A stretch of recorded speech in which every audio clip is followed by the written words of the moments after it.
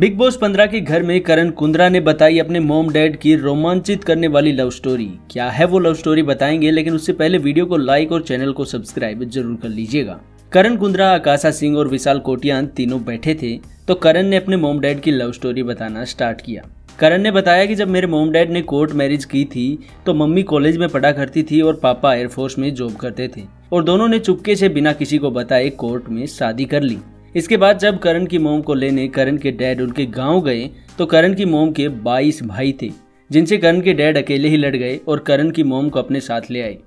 इसके बाद करण ने बताया कि जब मैं ऐसा कोई काम करता हूँ तो डैड बोलते हैं कि तुम ये काम ठीक नहीं कर रहे, तुम्हें ऐसी हरकतें नहीं करनी चाहिए, लेकिन मुझमें उन्हीं का खून तो है। दोस्तों, करण कुंद्रा आपको बिग बॉस के घर में कैसे लग रहे हैं, आप हमें नीचे कमेंट सेक्शन में कमेंट करके ज़रूर बताइएगा, और बिग बॉस 15 से जुड़े ऐसे वीडियोस के लिए चैनल को सब्सक्राइब ज़रूर कर लीजिएगा।